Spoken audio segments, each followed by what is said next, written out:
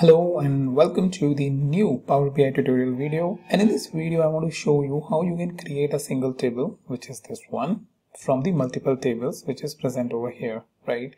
So the way it is that uh, we want to move all of these columns into the rows but we want to also categorize or want to understand uh, whether it is the first second third or which column it is right? Based on the values which is given here. So this is a more of a power query related video, right, where we can go in in Power Query and transform this data and create the one single table which is useful for us. Okay, so to do that, what do I do is I'll go into my new scenario. Come on. Okay. All right. Let me see.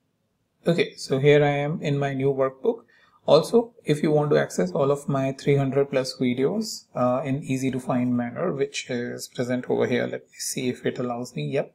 So you can go in and this link is present in the description. You can get the, uh, you know, access to all of my videos in an easy to search manner.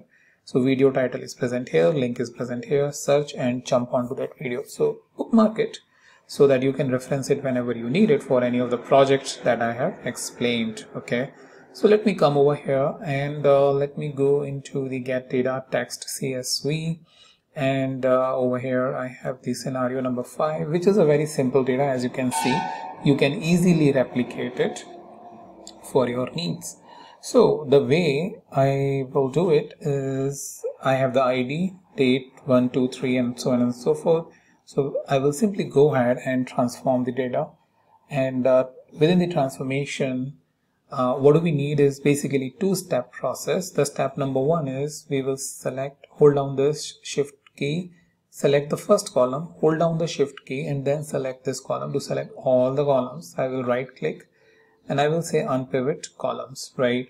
Now what do I have is this value. So what what can I do is I will right click copy and I will then right click over here replace values. Okay so then it will ask me value to find which I copied this and I will replace it with what? 1 right? So that it is easily identifiable. Same way I will repeat the process.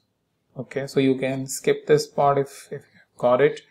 Uh, but whole idea is that uh, we basically categorize it in based on the requirements or easy to understand requirement. If this is what you need last update 1 2 3 then you can do that but we can give the column name to last update right?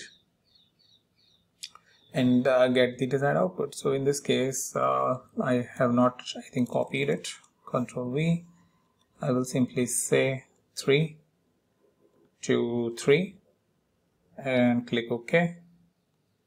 And uh, this one latest updated that will be 0 that means the first one. So replace value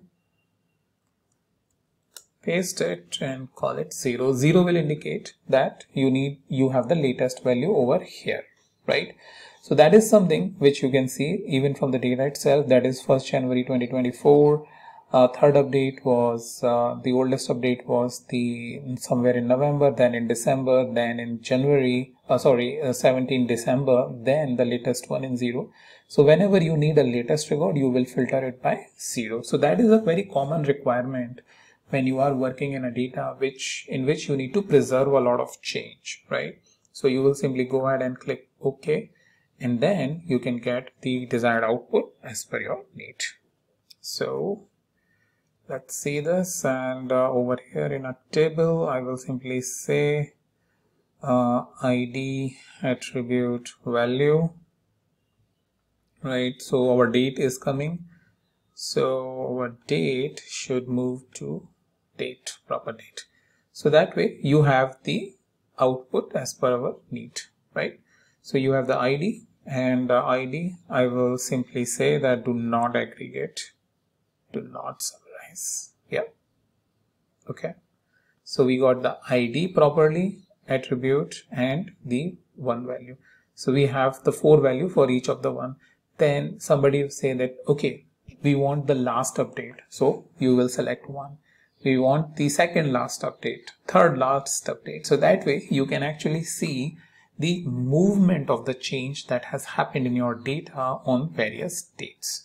So if this is a scenario you were looking for where you wanted to understand how you can basically model out the dates uh, and basically track these changes in an easy to understand manner, well, that's your video and go ahead and utilize it in your logic. With that, thank you so much. I'll meet you in the new video with the new topic.